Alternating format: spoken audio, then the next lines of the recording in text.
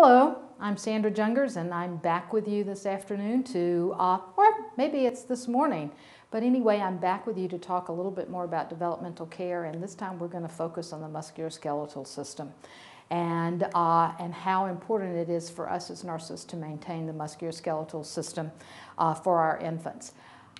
I'm going to give you a few objectives in this lecture here and the fact that hopefully once we finish this you're going to be able to discuss the importance of positioning and what the effects are both on short-term and long-term outcomes with our infants if positioning is uh, overlooked or not uh, you know, implemented as soon as we need to in the NICU. And then also we're going to try to understand a little bit more about how developmentally appropriate positioning really is, what impact that it does have on our infants. And then we're going to talk a little bit about getting that microenvironment for the infant that demonstrates a little bit of midline flexion containment. And uh, I think you'll find that you know this is where you're really doing a lot of work at the bedside and you're really looking to see what is taking place with your infant hopefully you'll be gaining some observation skills in order to help you to better assess your infants. And uh, as I said, I've been a nurse for a long time and uh, I got very interested in developmental care and uh, feel like that it is the one thing that we as clinicians can do at the bedside that does make a significant impact with our infants. So with that being said, we're going to move over and sort of take and look a little bit at that musculoskeletal system.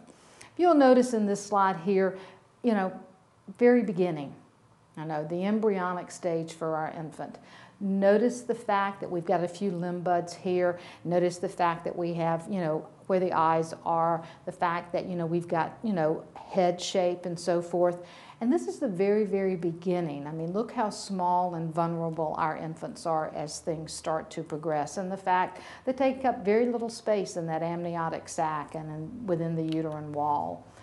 Notice the distinct contrast in the slide that I just showed you and this slide here where we have the infant in utero he is much older. The fact look where his arms are look where his hands are. Look at how you know his head is being braced his buttocks are being braced. The fact that he's got his knees you know pointed north south and the fact that he has the ability to do foot bracing. This is sort of kind of what it's all about with our infants and the fact that they really want to have that you know, physiologically flex position. They want containment.